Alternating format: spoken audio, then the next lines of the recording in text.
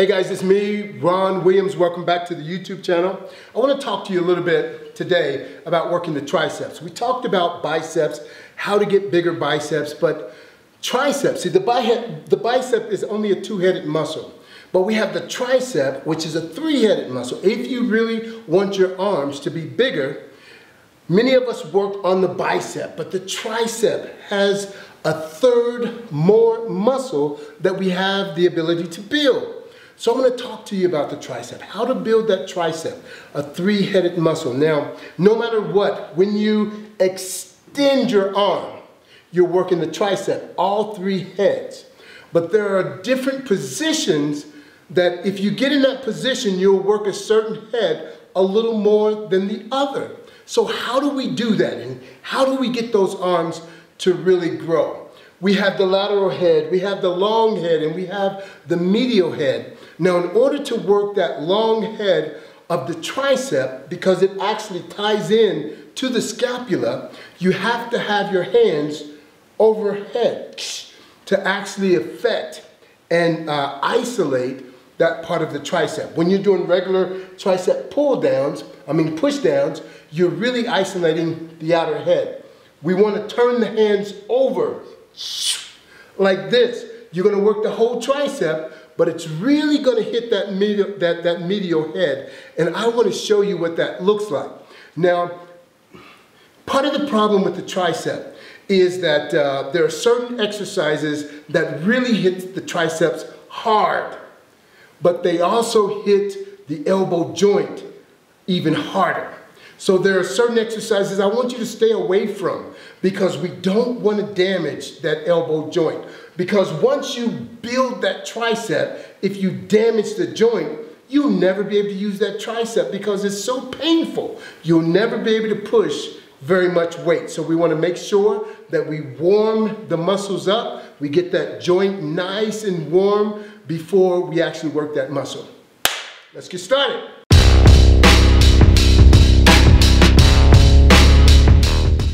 Okay, oftentimes guys, you hear me say, squeeze the muscle before you extend the limb that's attached to the muscle.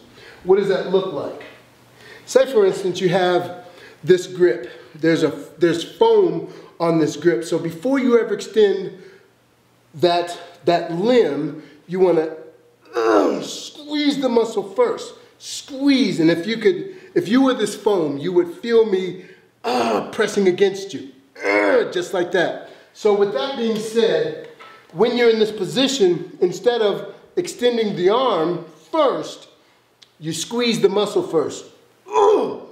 And then as you squeeze the muscle, use that muscle to force the forearm down rather than forcing the forearm down, causing the muscle to contract. Huge difference. So you squeeze first, all the way down. I like making that noise. That feels good when I do that.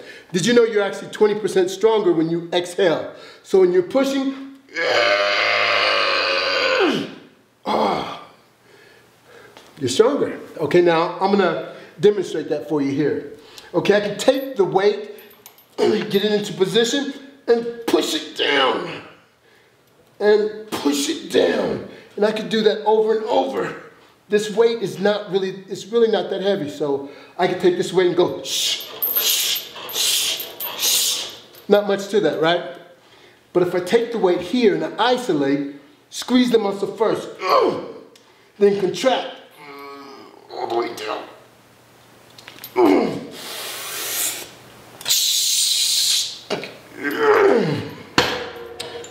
How fast should I go? Should it be on the positive phase, a two count, and on the negative phase to stretch that muscle back out, a four count? Not necessarily. It needs to be completely controlled. And when you control it, if it's three seconds down and five seconds back or four seconds back, it doesn't matter that much. The important thing is you have complete control over it. Now, if I'm putting my head to the side of the weight, if I'm going to the side of the weight, do you know what that's an indication of? I'm bringing other muscle groups in to assist me. So that would look like this. Ooh. Ooh. I can lift more weight that way, but if I stay right in the middle, it's concentrating on that tricep. Okay, that's the lateral head.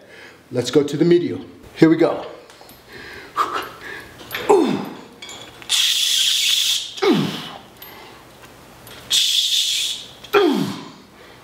Squeeze first.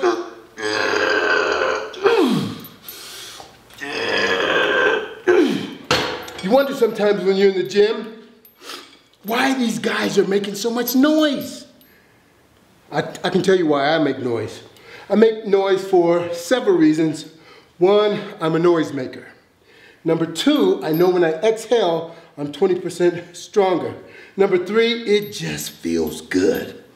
Some people do it because of attention. They have hardly any weight and they're, ah, so everybody can look at them. It doesn't matter if you look at me or not. If you do, it's not gonna stop me. If you don't, I'm not gonna try to get your attention. But I know what it's doing. 20% stronger. I need all the strength that I can get because my strength is closely related to muscle size. Here we go.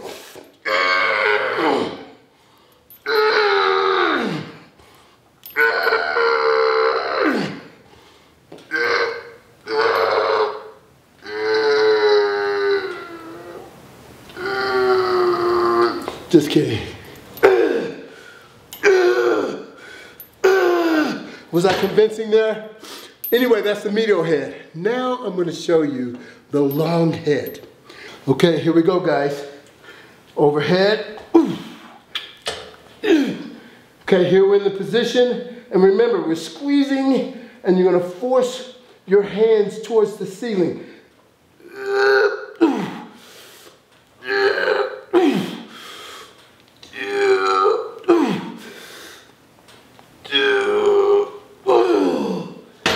Oh yeah. Okay, that hits the long head of the muscle. So just a short recap. First of all, we did the tricep pushdowns, the regular pushdowns, and we're concentrating on that lateral head, concentrating on squeezing the muscles first, then extending. Then we did the reverse grip, and we're contracting first and extending all the way down. Sometimes the weight is at least a third less on the reverse tricep pushdowns as it is on the regular overhand pushdowns. The reason why we're doing that is we're changing the angle. All three exercises that you saw me do, they're hitting all three heads, but it isolates one a little more than the other. So no matter what, when you're doing those tricep pushdowns, you're hitting the tricep. But let's maximize and get those triceps pumped. Try it, tell me what you think. God bless you till next time. Coach out.